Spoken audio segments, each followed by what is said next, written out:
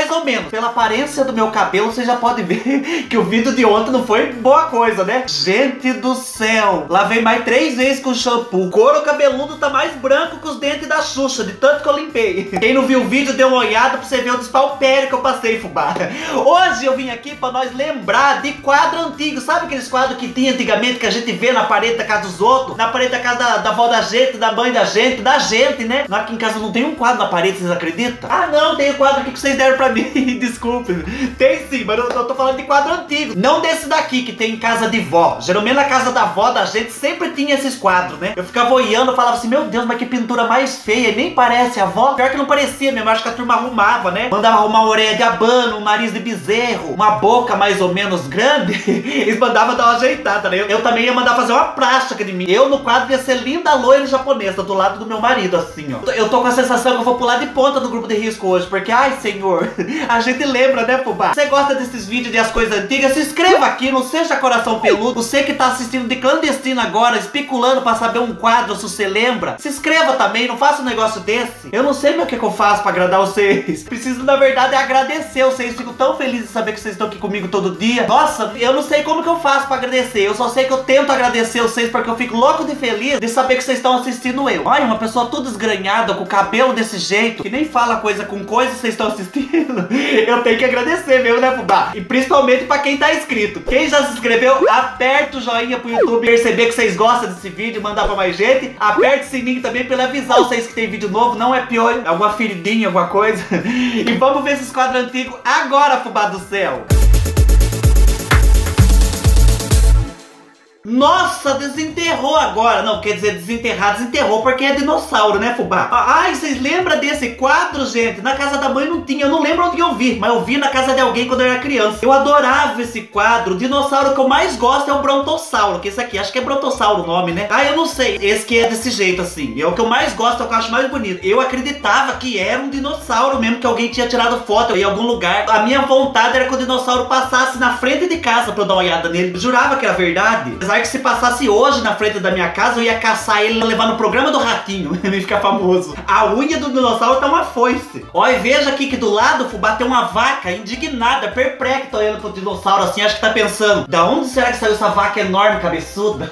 Ai, vamos ver o próximo. Ai, o quadro dessa menina, fubá. Eu já falei do quadro dessa menina em algum vídeo meu, não falei? Nossa, que menina bonita, né? Ela sabe, ela parece a Alice do País das Maravilhas. E quando eu era criança, eu olhava esse quadro, eu olhava e falei, meu Deus, mas essa menina não tem perna. Eu não sei por que, que esses quadros antigamente eles não faziam perna, né? Tinha um quadro de um anjo também que não tinha perna. Eu ficava assim, meu Deus, mas cadê a perna desse anjo?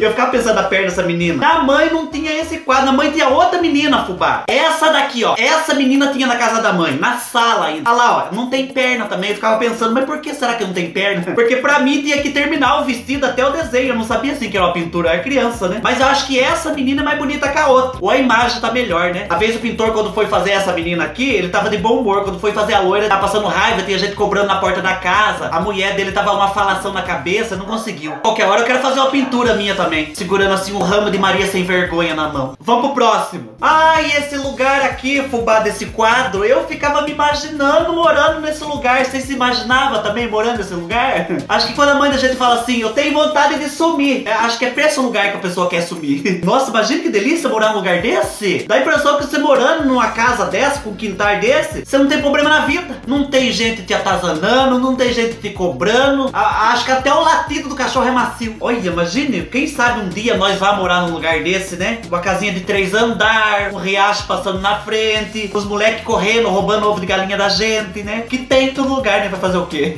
A malandragem hoje chegou em tudo quanto é lugar. A gente chega a se transportar eu ia pra um quadro desse. Nossa, agora que eu lembrei desse quadro, eu nem lembrava mais. Ai, eu achava tão lindo. Achava não, eu acho lindo. Olha que quadro mais lindo que é. Quando eu era criança, eu ficava olhando, eu falava assim, acho que esse quadro é a coisa mais perto que eu vou chegar do Japão na minha vida. Hoje eu tenho certeza, né? Que eu tô aqui no Brasil enfiado ainda. E nem fui pro, pro Japão pra poder visitar. Mas quem sabe eu vá um dia, né, Fubá? Eu tenho vontade de conhecer o Japão. Deus quiser, um dia eu vou e levo vocês junto na mala. E sabe quando que eu vou, eu arrasto vocês, né? Ai, que quadro bonito, Fubá do céu. As gueixas são bonitas, né? Tomara que seja gueixa. Eu tô falando que é gueixa, nem sei se é, né? Só porque a mulher pôs uma roupa de japonesa, eu tô falando que é gueixa. Mas é, na minha cabeça é. Então é. Imagina você visitando um lugar desse. Cada cada foto que sai, a gente chega a arrasar no Instagram. Pô, eu posso tirar 30 fotos, parece que as 30 fotos saem igual. Eu não consigo fazer que nem aquelas pessoas que tiram várias fotos e tudo bonita. Eu tiro 30 fotos pra escolher uma mais ou menos. A minha foto de perfil do Instagram, quem me persegue no Instagram sabe. Tá lá faz 3 anos que eu não troco. Tem que trocar urgente, fubá do céu. Meu Deus, esse quadro tinha lá na sala da mãe também. Ai, eu não gostava desse quadro não, quem falava que era um menino enfeitiçado, né? Que se a gente virasse de ponta cabeça, aparecia um bicho coisa mais feia. E se a gente virar de lado, olha lá, diz que aparece um bicho engolindo o menino. Crente os pai, fubá do céu. Eu não gostava. Eu acho que ninguém deve ter quadro de criança chorando na casa. Eu não sei se superstição, a coisa da cabeça da gente, mas eu olhava pro quadro e não gostava. Se for pra colocar o quadro de criança chorando, que seja chorando de dar risada. Vamos pro próximo. Ah, e esse quadro do Charlie Chaplin aqui tinha lá num barbeiro que antigamente que cortava meu cabelo chamava Cal. O nome do barbeiro era Cal, não sei porquê. Nem branco ele era. Quer dizer, era branco, mas não da cor do Cal. O Charlie Chaplin era mais branco que ele. E tinha lá esse quadro, fubá, ele ficava cortando o cabelo nosso, nós ficava sentado na poltroninha assim, ficava cheio de revista. Eu era criança, tinha as revistas que eu não podia pegar. A gente morria de vontade de pegar as revistas, né? Eu lembro que naquela época eu cortava meu cabelo igual o Chitãozinho Chororó. Qualquer hora eu trago a foto aqui pra vocês verem. Aqui em cima tudo arrepiadinho e aqui embaixo tem um pouco de cabelo assim, ó. Quer dizer, arrepiadinho não tá aqui em cima, só que um arrepiado pra cada lado. Vamos pro próximo. Nossa, fubá do céu, vocês já viram esse? Tinha na casa do tio. O quadro da Arca de Noé. Eu gostava de ler embaixo a historinha da Arca de Noé. Demorava pra ler, né? Tanto de letra. Eu ficava imaginando como que os bichos sabiam quem que avisou os bichos que era pra vir na arca. E depois eu ficava pensando, e os bichos que moravam tipo em outro país, como que vieram pra cá? Como que eles atravessaram o mar? E depois eu pensava também, como que não dava briga de bicho dentro da arca? Eu ficava olhando, caçando, eu ficava pensando, tá fartando o bicho ainda. Eu até perguntei pra mãe, mãe, mas e cadê os cachorros? Cadê os gatos, né? Que pra mim tinha que aparecer tudo ali. Gente do céu, será que existiu a arca de Noé mesmo? Imagine a hora que acabou o dilúvio, que desceu a arca, que abriu a porta, os bichos saíram que nem louco, como se não houvesse amanhã, né? É o que vai acontecer com nós depois da quarentena. Quer dizer, tem gente que já saiu que nem louco, né? Eu mesmo quero sair daqui correndo, gritando, descendo a descida, correndo, gritando, virar a esquina correndo, gritando e chegar na porta do bar correndo, gritando, me vê uma cerveja, moço do céu. Vamos pro próximo. Ah, e o quadro do anjo. Eu não lembro do que eu vi. Você já viu esse quadro de anjo, fubá do céu? Eu vi em algum lugar, sabe aqueles quadros que você só vê na casa dos outros? Ó o anjo que não tem perna aqui, ó. Lembra que eu falei pra vocês? Todos os quadros de anjo de antigamente não tinha perna. Eu ficava pensando, será que o anjo não tem perna? Que na verdade ele tá flutuando, né? Que o anjo não tem asa à toa, é pra voar. Quando eu imagino o anjo da guarda, eu imagino os anjos da guarda até hoje assim. Porque a gente via, né, na casa da avó tinha uns anjinhos da guarda, mas era diferente, era aqueles anjinhos criancinha, que só tinha os cotovelos assim, ó, do cotovelo pra cima, a cabeça e a asa. Eu tenho um amigo que fala que se eu fosse anjo, minha asa ia ser de urupu. Diz que eu tenho coração ruim. Ai, fubá. Pode um negócio desse? Apesar que isso é preconceito, né, fubá? Não importa a cor da asa. O importante é voar e abençoar. Vamos pro próximo. Ai, o quadro de São Jorge. Vocês lembram desse quadro? Eu lembro que a mãe falava pra mim que o São Jorge morava na lua. E daí eu saía de noite pra enxergar, a mãe falava lá o desenho do São Jorge. E eu olhava na lua assim, eu chegava a ver, fubá, o desenho do São Jorge montado no cavalo, montado em cima do dragão. Que eu acreditava que na lua tinha dragão e o São Jorge ia lá com o cavalo dele pra matar. Só se o São Jorge montasse no cavalo da Xirra, né? Pra ir voando até lá. Vamos pro próximo. Ah, e esse quadro, fubá? Eu tenho certeza que vocês já viram esse quadro ou na parede da casa de alguém ou vendendo em algum lugar. Eu tinha uma vontade de ter esse quadro da Xuxa, mas pergunta se a mãe comprava pra mim. Se abusasse, se eu desse uma caneta bic na mão da mãe, ela não desenhava uma Xuxa pra mim, apesar que a mãe não sabia desenhar, né? Vai fazer o quê? Aí eu achava tão bonito esse quadro da Xuxa.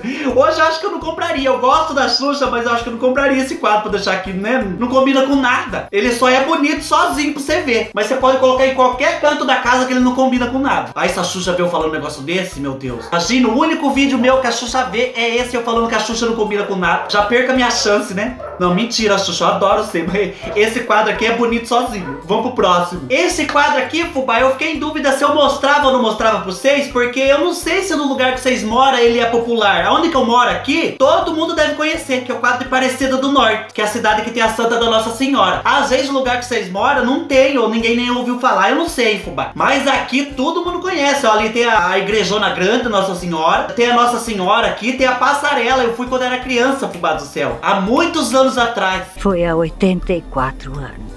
E aqui embaixo tem a igreja pequena também. Ai, qualquer hora eu tenho que ir para do norte viajar lá ver. E daí eu trouxe quadro aqui porque eu lembrei da casa da avó. Na casa da avó tinha esse quadro no nome podia pôr a mão também. A avó era fã do, do Sagrado Coração, do Papa João Paulo. Tinha o quadro do Papa João Paulo lá também. E tinha esse quadro da Aparecida do Norte. Daí fez eu lembrar da avó, por isso que eu trouxe aqui pra vocês. Se vocês conhecem, escreve aqui pra mim que eu quero saber. Ai, gente, que gostoso ver essas coisas antigas, né? Vem cada pensamento na cabeça da gente. Vem pensamento na cabeça de vocês também. Eu tô adorando ver as coisas antigas com vocês. O próximo vídeo é as coisas antigas, ai, vocês não vão acreditar. É um monte de coisa legal. Mas só se esse vídeo der bastante visualização. Então vocês têm que compartilhar, tem que enfiar na vida dos outros. Fala, tá aqui esse vídeo, veja. Nem que a pessoa não queira. Abre os olhos dela assim, ó, e mostre. gente, aqui embaixo tá lotado de vídeo pra vocês. Dê uma olhada que vocês há de gostar. Lembra de trazer mais gente aqui pro canal. Aqui do lado tem dois vídeos pra vocês assistir. Assista desses dois, fubá. E sorria bastante, sorria sempre. Mantenha seu sorriso, que o sorriso atrai sorriso, fubá. Muito obrigado por me assistir até aqui. Tchau, fubá. Até o próximo vídeo.